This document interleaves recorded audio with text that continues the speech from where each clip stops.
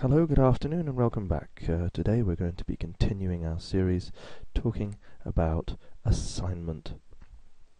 And we're going to be discussing assignment skills. Now, most of us are familiar with assignment skills. For example, uh, if we take a look at a list of assignment criteria in Siebel Tools, and we query for, let's query for a well-known assignment criteria, a well-known assignment criteria, language code which has a display name of language. If we look along the right hand side we'll see that it is defined as a skill and it says to use expertise. What exactly does that mean from a Siebel perspective? Well first of all let's look at the idea of skills. If we make a query and we find for example the service request assignment object we'll see that the assignment object has been defined as having a skill table and a skill item table. The skill table and the skill item table have a parent and child relationship. If I insert a skill, for example language, then there may be multiple skill items, Chinese, English, Arabic, French, and so have you. What is interesting is that uh, a number of assignment objects have been uh, pre-configured to use skill tables. Um, but there are others, let's take for example from public sector the case object where the skill table has been configured but there is no skill item table. Um, we'll come back to that as a concept or as a, as a subject for discussion later on. Going back to skill tables and skill items, if we return to our application and go to service requests, we can choose the assignment skills detail view and the assignment skills detail view is available to us to add a skill. Let's choose the skill of language. And when we scroll down, we have a dynamically uh, adjustable applet here for the skill items. So based on the skill, the skill item displays, I will choose a language code. There we go, Chinese. Now these two applets are based on the service request skill and service request skill item business components respectively. And if we go and look at these business components, we'll actually find that there are three. There's a skill, a skill item, uh, notice the classes by the way, and a skill name sequence. Uh, let's take a look at the applets.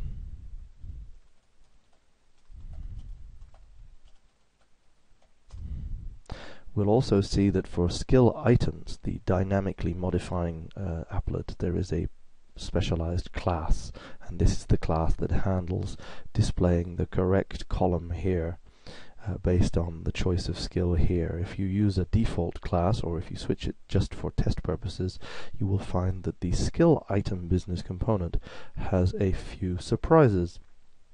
The skill item business component actually contains a list of fields, some of which are straight obvious like the expertise code, but you'll notice that there are four characters and four numbers, as well as the foreign key to the parent skill.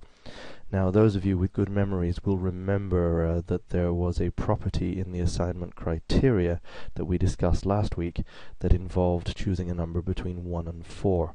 Uh, if you want to learn more about it, the bookshelf is wide open for you. In any case, uh, we've now discovered that there are custom business components for skill and skill item. And uh, we're going to turn our attention to the concept of expertise.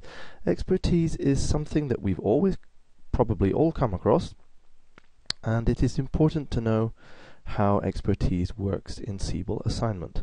Let's go back to our assignment criteria and let's take a let's take a look at the language code again.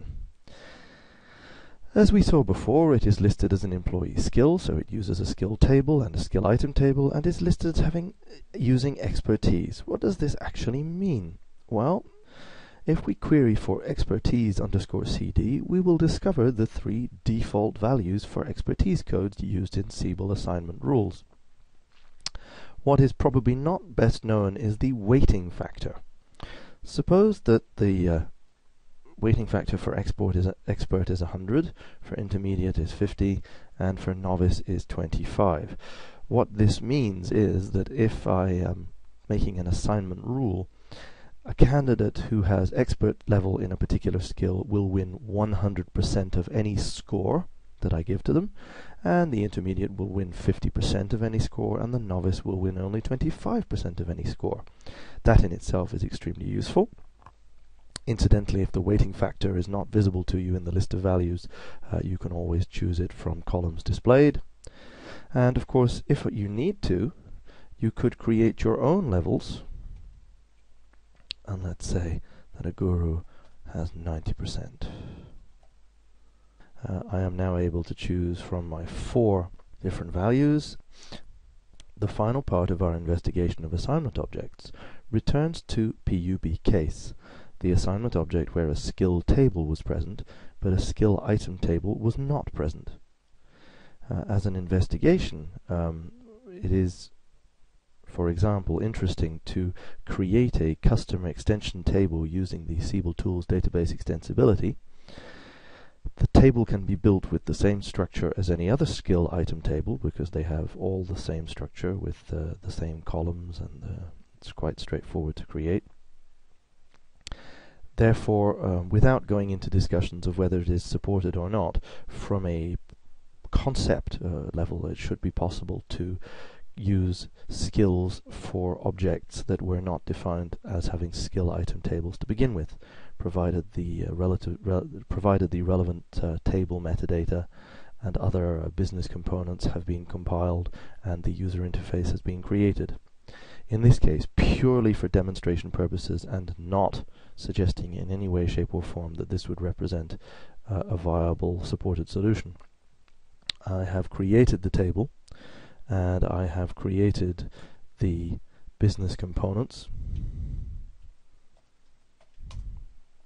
So case skill, case skill item, case skill item name sequence using the relative the using the relevant classes.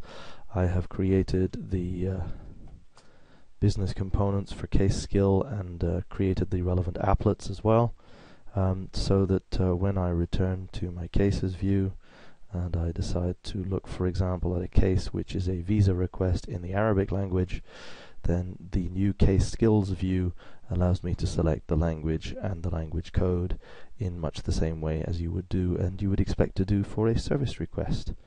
Um, and we'll see how Assignment Manager is able to cope with that when we run a batch assignment job.